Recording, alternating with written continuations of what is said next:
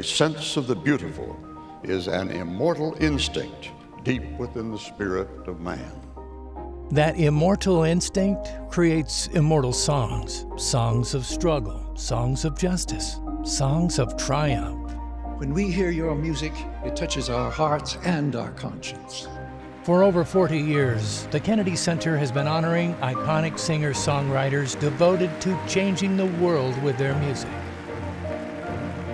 This year, we honor an artist of unique empathy, a poet of the people, a singer for society who reaches deeply within herself and shares her immortal voice with all humanity.